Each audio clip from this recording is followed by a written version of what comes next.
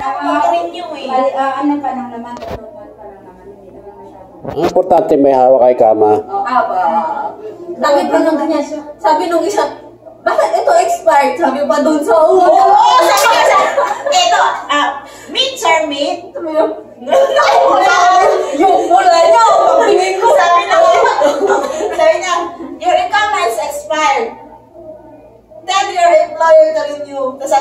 na, brother, your employer doesn't want to renew. That's why we want special authority because we, she wants to go. Sabi na gano'n. Sa iba na daw rule ngayon. Pag expire Iba na ang- lamang award, di ka makakakuha ng special power of authority. Iba ang sumagot sa'yo. Mm, si Doktora. Kasi hindi na ako makasagot eh. Ah, sino pula-pula na siya? Sabi niya sa akin, alam, pula ka na. Tapos, pagdating namin sa kabilang window, mabait yung matandang ulo. Ginawa niya, sinabi niya doon sa- na ano, sinulat niya doon na okay ang ikama ko. Hindi expire ng ikama ko. Pero pagdating namin doon sa, sa isang talaga na magbibigay ng papel, sinanong niya ako, Is your ikama okay? Not expired? Ayaw ko din naman magsinungaling.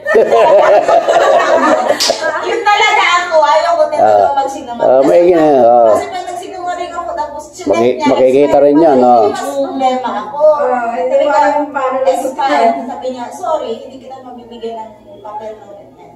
Bago, kasi dati, sabi ni doktora, expired kasi ang ikama niya. Ah, ah. At saka siya ng sasabi niya, Brother, why before I took the same paper, my ikama is expired, but the, the, uh, the ang hukom daw, binigyan siya ng ano, special power of authority, sabi niya.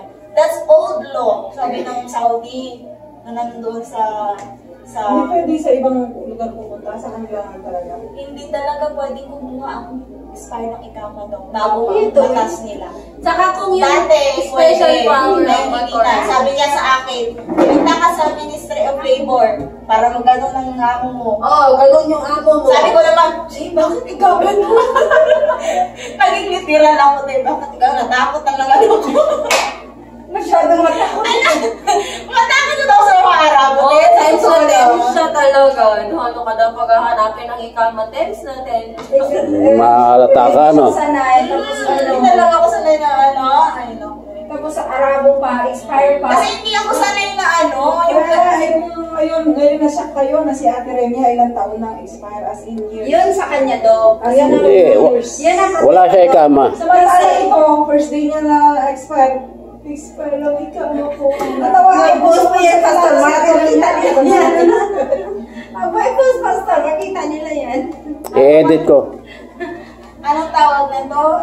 Yan ang sa kanya daw ang problema daw kasi binigyan na sila ng pagkakataon na paix, eh, pinapaixit sila, di ba? Tumagi siya kasi. Hindi man siya eh. Ay, oo, may ganyan yung ano din, galit na galit yung kasama Yun yung namin. time eh. Yun yung Yun yung ano, yung kasama naming doktora. Di ba yung kasama naming doktora? May tinutulungan din siya, dati niyang assistant, ewan ko kung saan center. Ano din yun, Doc? Pilipina din, pero wala siyang papel. Gusto niya, sige, samahan kita sa embassy ngayon. Tapos, ayun paulit-ulit, ilang beses sila nag-schedule, tapos hindi niya pa sinisipot, nagagalit na si Doc, nagagalit na si Doc, kasi ano ba, gusto mo bang magpatulong o hindi?